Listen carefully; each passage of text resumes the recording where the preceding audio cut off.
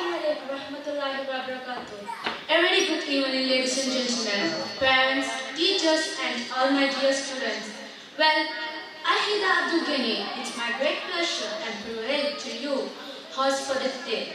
On behalf of the management, principal, staffs, and students of Al Fithra International School, we warmly welcome you all to this lovely event of our first annual celebration of our Moulana Alfika International School. Today, it is a special day for us as we are celebrating our first anniversary.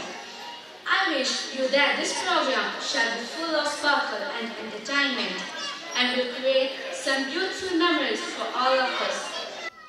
We have prepared a number of exciting programs for you, so let me give you an overview of the programs planned for today. We will start with some of the students' program now and continue until 5 pm. At 5 pm, we will move to the inauguration section. We will then resume the students' program after the inauguration section.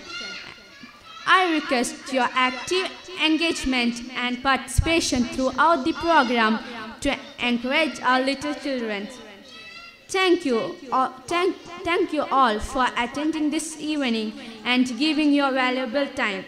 And now, I guess this time is just for you and your children. They have worked so hard to give a beautiful presentation right in front of their parents.